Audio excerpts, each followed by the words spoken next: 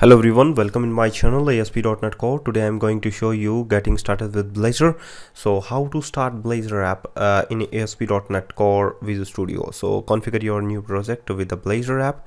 So getting started, uh, applications, uh, oops, that is already available uh, in that uh, in the folder. So just change the name of your application if you got that type of error.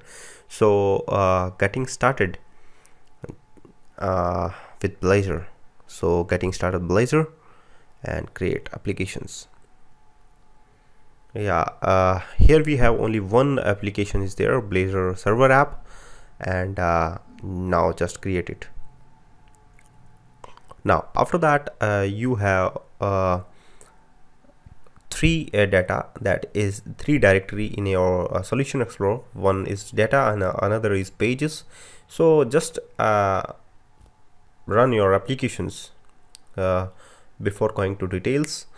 Uh, here we have uh, five pages in the pages folder like the host.cshtml that is the first page. Now the second is the counter dots uh, pages. Okay. So this is the first applications and uh, how to navigate your project. So just uh, uh, select your startup.cs file uh, where you can uh, find the route applications. Okay uh, there is the use endpoints map of all to pages that is the host pages. And the if you uh, open your host.cshtml file then you got the simple html pages. Okay the namespace is getting started blazor.pages and add tag helper is also asp.netcore.mvc.tag helper layout is null and this is the default layout. They're like looking like this. This is the head section. Application is the component.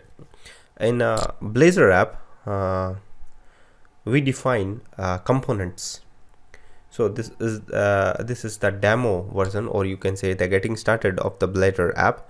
So just uh, you can check. This is the script section of your blazor. So blazor.server.js file. And uh, after that you can interrupts your uh, javascript file in your with the blazors. Okay. So this is the index.razor file and counter.razor file in a counter.razor file you you have to check uh, uh, your data. The script file is uh, actually uh, counter your applications but the function is there.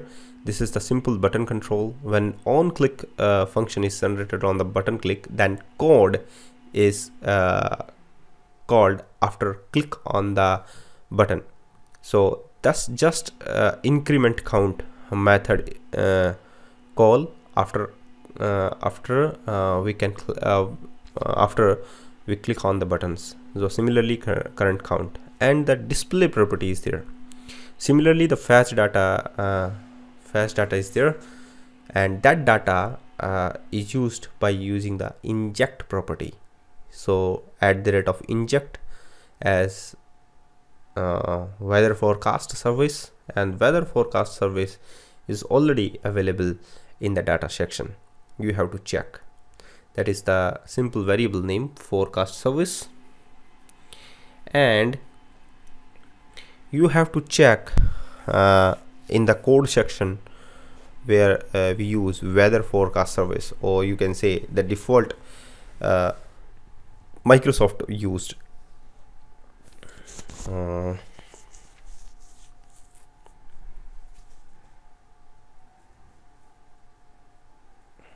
okay just going to the data section where you have weather forecast and weather forecast services. Weather forecast is the simple class uh, where we have date temperatures uh, temperature in fahrenheit in celsius in summary also. And the weather forecast service is with the static array type summaries where freezings saying chilly cool mild warm that type of service and the get forecast asynchronously with the date time. So just uh, scroll down of your uh, fetch data razor pages and check that the services. The from uh, task dot from result enumerable range 1 to 5 select only the uh, 5 uh, you can select. Weather for uh, services under the fetch data just uh, going to down. Here we have own initialize async method where you can use forecast services dot get forecast asynchronously date time dot now with the current date time. Okay.